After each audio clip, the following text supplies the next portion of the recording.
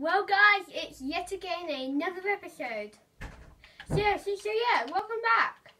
And today we're talking about, uh, yeah, ice. Um, you may think they are useless items. Well, let's find out if they're useful or not. We all know there's three different types of ice. We have original ice, packed ice, and blue ice.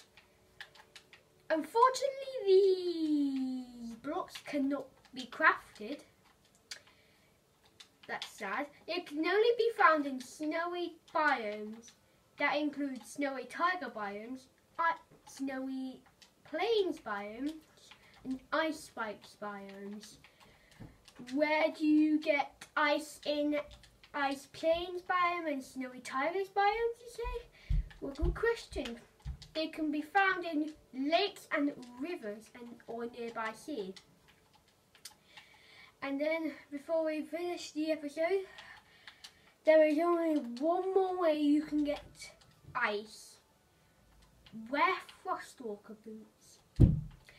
So basically, if you wear frostwalker boots, if you walk on water, eh, all the water you walk on will turn to ice and packed ice only, unfortunately.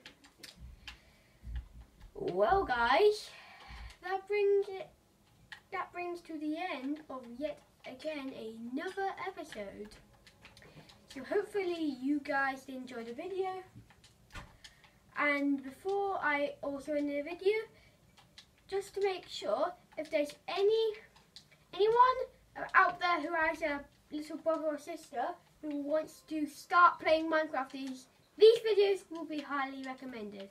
And also, the nether update is finally here. So yeah, so like, okay, so like all this nether update stuff, crimson stems, they're finally in our inventories on Minecraft. So check that out. You, and the mobs, they are so so weird. And the pigmen have changed. it. The zombie pigmen have now changed as well. So yeah. Yeah, so Make sure to subscribe and leave a like in the channel. That would really help me out.